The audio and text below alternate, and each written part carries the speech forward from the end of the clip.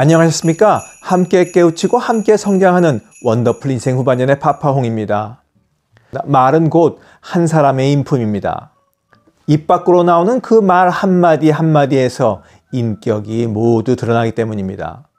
그래서 누군가의 말에서는 향기가 나서 듣고 있노라면 행복해지고 또 다른 누군가의 말에서는 악취가 풍겨 이마살을 찌푸리게 만듭니다. 그래서 오늘은 다시는 말 한마디 섞고 싶지 않게 말하는 사람들의 말버릇에 대해 여러분들과 이야기 나눠보려고 합니다. 곁에 남아있는 사람이 없다면 어쩌면 정 떨어지게 하는 말 때문인지도 모를 일입니다. 자, 본격적인 이야기 지금 시작합니다.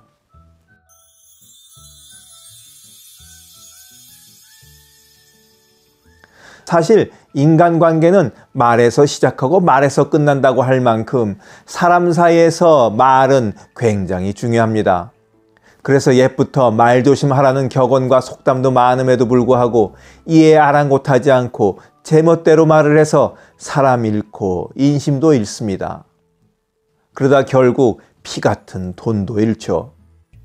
자, 그럼 지금부터 다시는 말 한마디 섞고 싶지 않은 사람들의 대표적인 특징에 대해 말씀드려 보도록 하겠습니다.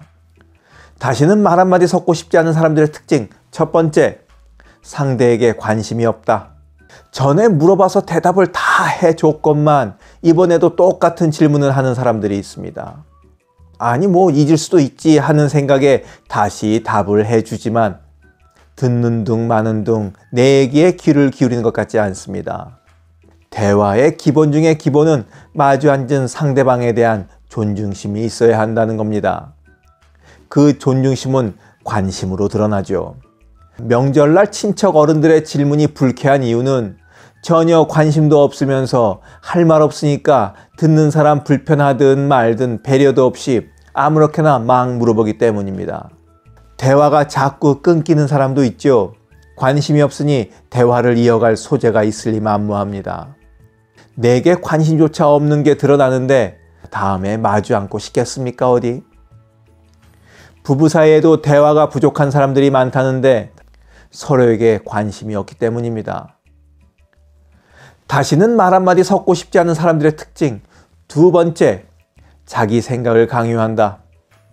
부모 자식 간에 부부 사이에 선후배 사이에 직장 상사와 부하 직원 사이에 대화가 재미나게 오랜 동안 지속되지 못하는 이유는 대개 누군가가 상대방을 가르치려 들고 자신의 생각을 강요하기 때문입니다. 아유, 누구겠습니까? 공짜로 고기도 사주고 술도 사주는데 회식이 불편하고 가기 싫은 이유는 말하는 사람의 역할과 들어야 하는 사람의 역할이 분명하게 나눠져 있고 이야기가 일방통행으로 흐르기 때문입니다. 자녀분들과 대화를 잘 하고 싶으십니까? 그렇다면 훈계하지 말고 가르치려 들지 말고 자녀들이 좋아하는 주제를 선택해서 친구와 이야기하듯 대화를 주고받아 보시기 바랍니다. 이렇게 몇 번만 해보면 자녀들도 속으로 어, 좀 말이 좀 통하는데? 어, 편하네? 이러면서 다음에는 먼저 다가와 말을 걸게 됩니다. 말해봐야 돌아오는 게 핀잔이고 잔소리라면 피하게 되죠. 다시는 말 한마디 섞고 싶지 않은 사람들의 특징. 세 번째, 같은 말을 반복한다. 잔소리가 다른 게 잔소리가 아닙니다. 잘 되라고 하는 좋은 말을 두 번 이상 하면 잔소리가 되는 겁니다. 참 이상한 것이 뻔히 안 들을 줄 알면서 잔소리로 몰아붙인다는 겁니다. 어차피 무슨 말을 하더라도 상대방은 안 들을 게 뻔합니다. 해봐야 또 언성만 높아지고 관계는 더 나빠지겠죠. 그리고 말하는 사람은 화만 치솟을 게 뻔한데 또 잔소리를 해댑니다. 잔소리를 듣고 안 하는 사람이 잘못입니까? 안 할 게 뻔한데 잔소리를 하는 사람이 잘못일까요? 맨날 그 소리가 그 소리인 사람들도 있습니다. 한 얘기 또 하고 한 얘기 또 하고 하는 사람들은 그게 그렇게 재밌나 봅니다. 같은 얘기 자꾸 반복하지 않으려면 책도 읽고 공부도 해야 하고 또 새로운 경험도 해봐야 합니다. 새로운 것을 채워넣지 않으니 입에서 새로운 게 나올 리가 있겠습니까? 당연한 이치죠. 다시는 말 한마디 섞고 싶지 않은 사람들의 특징. 네 번째, 자의식이 넘쳐난다. 말은 좀 어렵게 했습니다만 그냥 자기만 잘난 줄 안다는 겁니다. 이런 사람들은 늘 자기가 대화의 중심에 서야 하고 모든 관심이 자신에게 집중되어야 성에 찹니다. 이런 성향이다 보니 남들 얘기는 귀에 잘 들어오지 않죠. 잘난 척도 많이 하고 자기 연민도 강해서 슬픈 일이 좀 생겼다 싶으면 세상 최고로 불행한 사람처럼 행동하기도 합니다. 자의식이 점천한 사람과 같이 있다 보면 감정이 너덜너덜해질 뿐만 아니라 에너지도 금방 방전돼서 아주 피곤하기 그지 없습니다. 다시는 말 한마디 섞고 싶지 않은 사람들의 특징 다섯 번째 마지막 눈만 껌뻑거린다.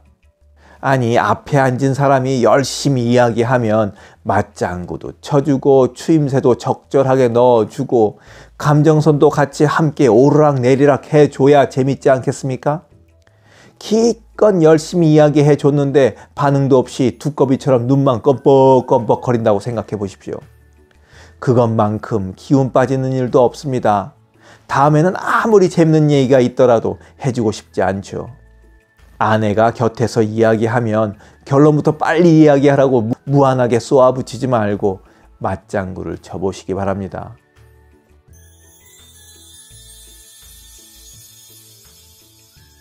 여러분은 대화를 잘 하는 사람이신가요?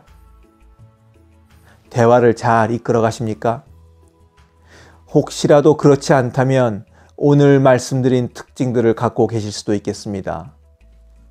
대화를 잘 하면 어디서든 사랑받습니다. 영상을 보신 모든 분들이 누구라도 이야기 나누고 싶은 사람으로 살아가시길 바라면서 오늘 이야기 마치도록 하겠습니다. 원더풀 인생 후반전에 멋지게 나이 먹기는 계속됩니다. 감사합니다. 하루를 충만하게 살아가는 좋은 사람들이 모여있는 곳이 있습니다. 바로 지난 3월 5일에 문을 연 실버들의 전성시대 네이버 카페입니다. 서로를 격려하고 응원해주는 넓은 마음과 나와 다른 생각을 지닌 사람까지 포용할 수 있는 열린 마음을 갖고 계시다면 실버들의 전성시대에 가입하시기 바랍니다. 댓글란 맨 위에 적어놓은 링크를 누르시면 가입할 수 있습니다. 아주 쉬워요.